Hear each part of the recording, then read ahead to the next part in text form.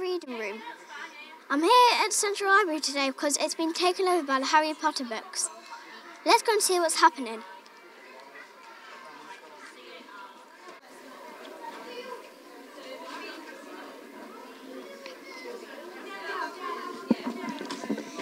Here they're making magic wands.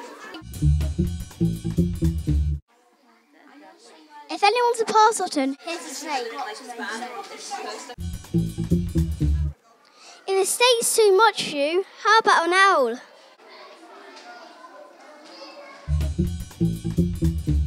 There's a Harry Potter puppet show about to start.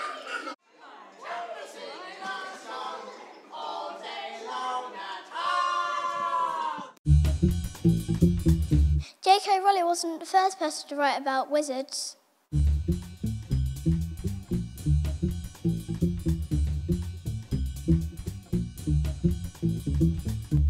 It's time to do some real magic with scientists.